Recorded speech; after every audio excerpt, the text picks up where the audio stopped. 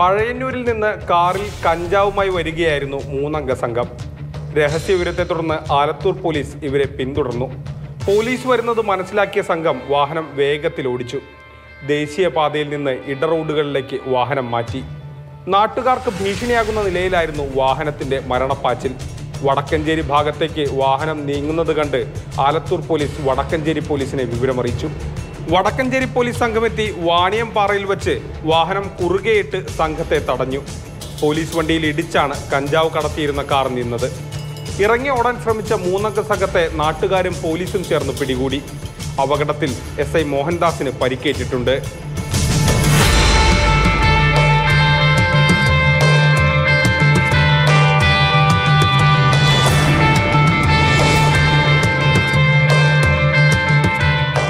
Mathrubhumi news Palakkad